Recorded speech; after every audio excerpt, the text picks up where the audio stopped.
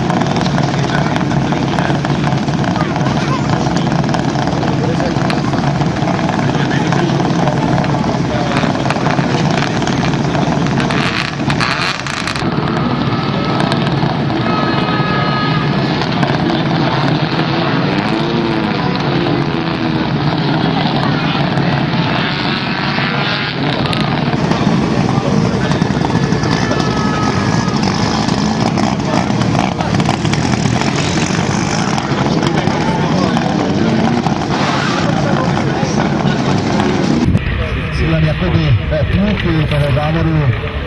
No, nechci teď to nic říkat, ale jeden z nejkrásnějších průjzdů této pasáže.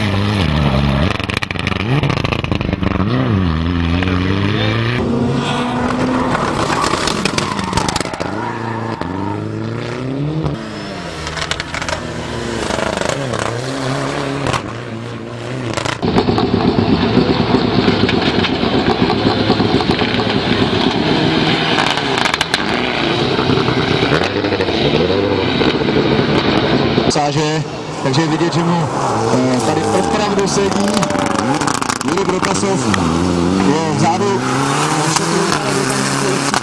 Jsem si dobře všiml, tady z komentátorského stanoviště to není úplně ideálně vidět, ale mám pocit, že tam k něčemu mini, mini maličkému došlo. Uvidíme, jak se to promítne na výsledném čase.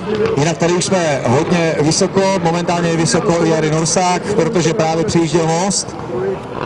a myslím si, že ta mini chybka toho Protasova bude stát vítězství a samozřejmě i nějaký čas. Takže Jary